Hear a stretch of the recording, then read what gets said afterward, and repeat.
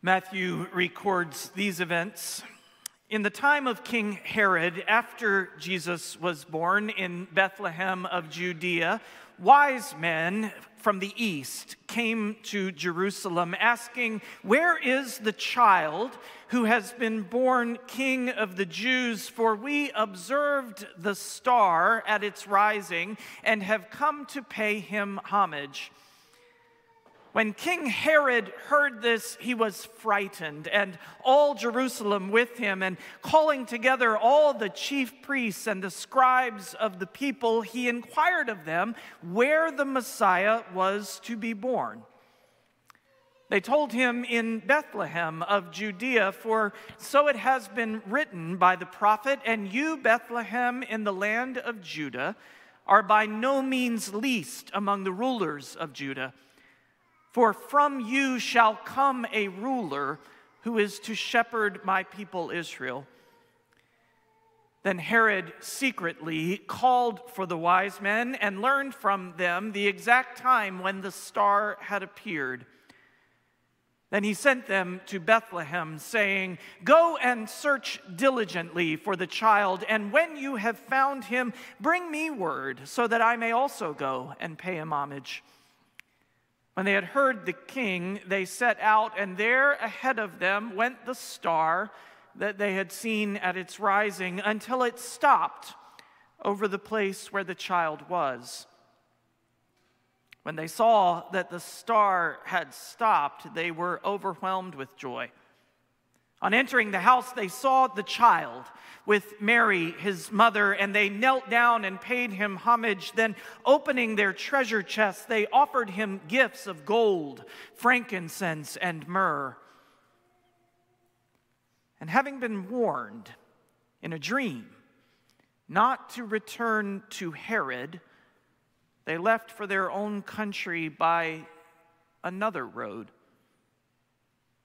After they had left, an angel of the Lord appeared to Joseph in a dream and said, Get up, take the child and his mother, and flee to Egypt, and remain there until I tell you, for Herod is about to search for the child to destroy him. Then Joseph got up, took the child and his mother by night, and went to Egypt, and remained there until the death of Herod. This was to fulfill what had been spoken by the Lord through the prophet Out of Egypt I have called my son. This is the word of the Lord.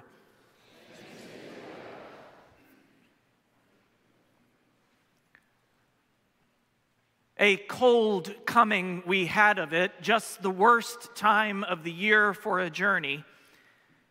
And such a journey, the ways deep and the weather sharp, the very dead of winter. Those words open T.S. Eliot's poem, The Journey of the Magi. Later, the poet described how the poem took shape that Epiphany Sunday, 1927, writing, I had been thinking about it in church and when I got home, I opened a half bottle of Booth's gin, poured myself a drink, and began to write. By lunchtime, the poem and the half bottle were both finished. Eliot's poetic interpretation of this morning's text from Matthew's gospel is written in the voice of one of those three magi many decades after the arduous journey to Bethlehem. The final stanza is a moving reflection on the impact of that visit, which seemed to the Magi to encompass both a beginning and an ending or something profound had happened, happened to them, something that changed these seekers permanently. And yet, all those years later, the narrator still struggles to describe it. I had seen birth and death, but had thought they were different.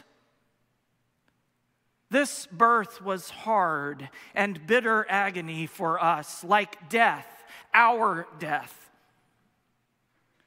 We returned to our places, these kingdoms. but no longer at ease here in the old dispensation with an alien people clutching their gods. I should be glad of another death. Maybe you can relate this Epiphany Sunday.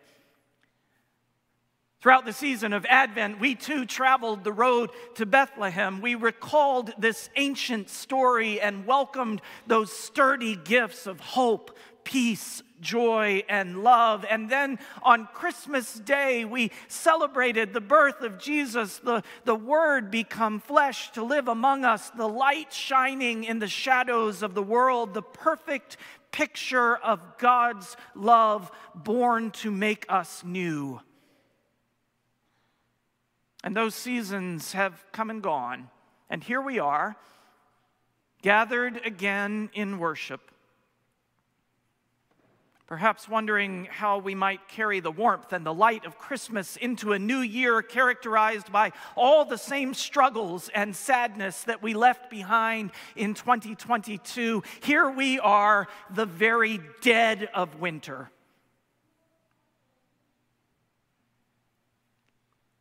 Let me suggest that the journey of the Magi and the heartbreakingly honest account of Matthew's gospel offer us wisdom for living these days. But like those ancient travelers, we have returned to our places, literally and figuratively, our routines and our schedules, our frustrations and our failures, we are faced with the annual reality that the comfort and joy of Christmas recede with the passage of time, some years so quickly it takes our breath away. I can promise you this comfort and joy were distant memories by the time the school bus arrived in front of our home on Thursday morning. Matthew will not let us forget that this was true from the beginning of the story. That before he was hailed as Lord of Lords and King of Kings, before he was resurrected on Easter morning, before he ascended into heaven with power, Jesus, son of Mary and Joseph, was a refugee in the land of Egypt. Like his ancestor Moses, Jesus was born on the most wanted list of a powerful and insecure ruler. Like so many in our time, the family of Jesus forced to escape the violence of their homeland in search of safety. At the end of the story, after the angels and the shepherds after the wise men and the baby,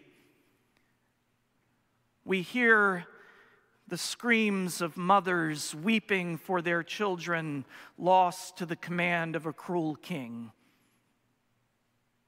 Death, pain, and sorrow before we can even get out of Bethlehem. Comfort and joy all but forgotten, the very dead of winter. The poet W.H. Auden also wrote an honest Christmas poem, which he titled For the Time Being. At its close, Auden powerfully captures the post Christmas mood that many of us experience, writing, Well, so that is that. Now we must dismantle the tree, putting the decorations back into their cardboard boxes. Some have got broken, and carrying them up to the attic. The holly and the mistletoe must be taken down and burnt, and the children got ready for school. There are enough leftovers to do, warmed up for the rest of the week. Not that we have much appetite, having drunk such a lot, stayed up so late attempted quite unsuccessfully to love all of our relatives, and in general, grossly overestimated our powers. Once again, as in previous years, we have seen the actual vision and failed to do more than entertain it as an agreeable possibility. Once again, we have sent him away. A confession. I am haunted every year by Auden's words when it's back to the real world. The one we left behind, if we were lucky, for a few carefree days. Once again, we have sent Christmas away, packed up in cardboard boxes and stored in the attic until December. The Magi, they, they return to the old dispensation, to, to their kingdoms, their routines and their schedules, their frustrations and their failures, and yet something is different. There is something about that vision, about that visit that will not let them, will not let us go. No longer at ease, those magi. Auden describes it this way to those who have seen the child.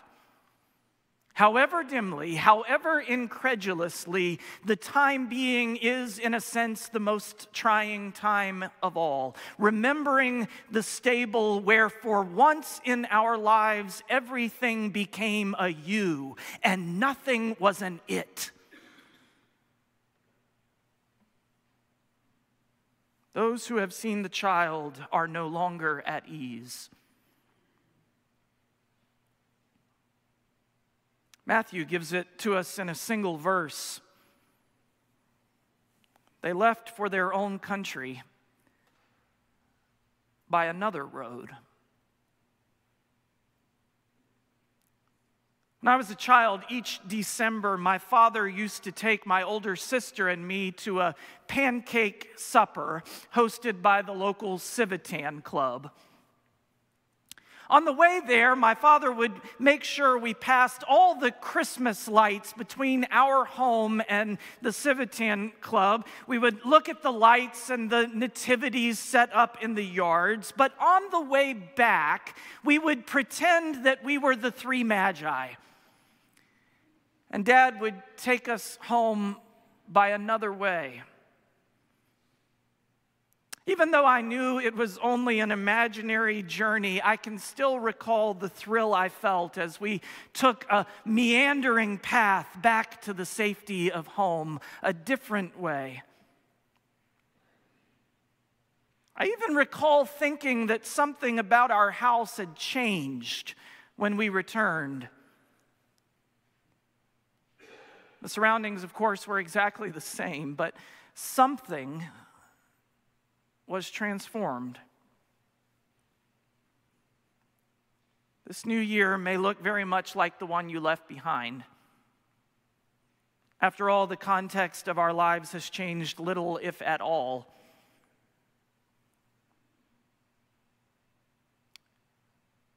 But we have seen the child.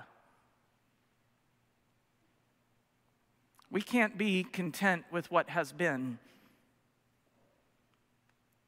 For if we have seen him, we will be changed. This is the pain of Matthew's story of the Magi. This is the promise of Matthew's story of the Magi. This is the possibility of Matthew's story of the Magi epiphany.